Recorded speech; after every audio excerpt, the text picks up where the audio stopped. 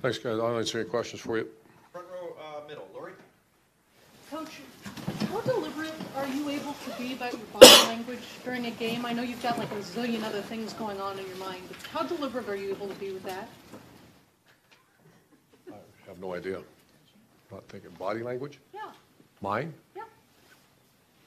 Not deliberate at all. Right next door, Dave?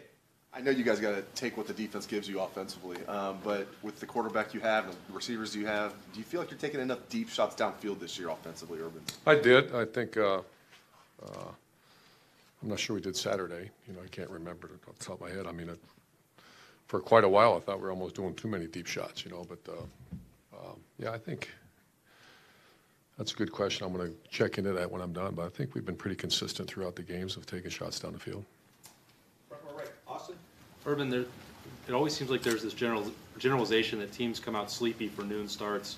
You have had a lot of success with Ohio State getting teams ready to start at noon. What's the, what's the secret there to getting ready for twelve?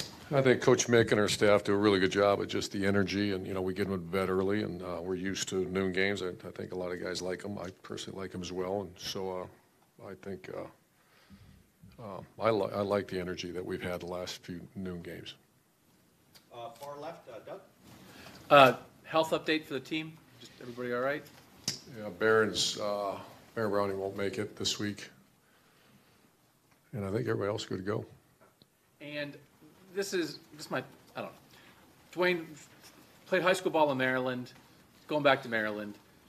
In that process, when the fact that Dwayne Haskins ended up here, along the way there, did you have an idea? Were you pretty confident, even when you maybe were looking at other guys, that Dwayne Haskins might end up a Buckeye, or, or the fact that he wound up here in the end? What what kind Yeah, of road If I was remember, that was a, a unique situation, that uh, there was a- another uh, young man that committed to us early on, and he ended up, I think, going to Oregon and playing another position.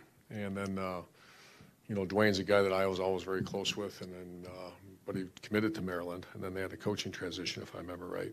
And uh, I've uh, always had a really good relationship with him, and we went after him very hard and got him.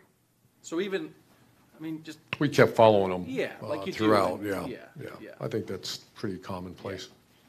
Uh, third row left, Dan? Urban, Chris Olave has been in a wide receiver rotation for a couple weeks now. How do you feel like his play has been Boy, so he's far? gonna be good. He's, uh, he's way ahead of schedule and, uh, it just, you know, special teams, he's doing good for us and made a great, uh, actually, I think he had a couple catches in Saturday's game and one was a big one across the middle, but he's gonna be a fine player.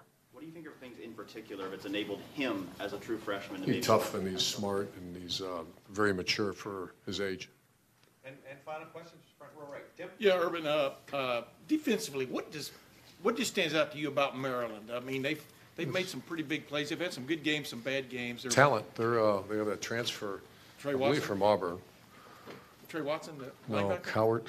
Oh, okay. Number yeah. nine, the big guy, and Yeah. then uh, just very good talent. I mean, that's, uh, and they play that odd four-eye, which is very, you know, we faced a few teams like that this year, very multiple what they do. But obviously, whenever you start talking about what makes a team good and why are they playing good on defenses, they have very good talent and fast. If they changed anything since Durkin hasn't been around? Is, have you noticed anything different from them this year, uh, offensively or defensively, compared to a year ago?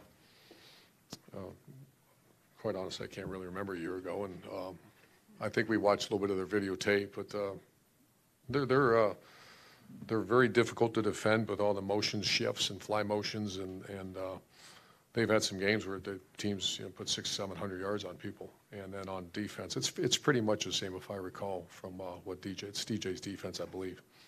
Great. Coach, thank you very Thanks, much. guys.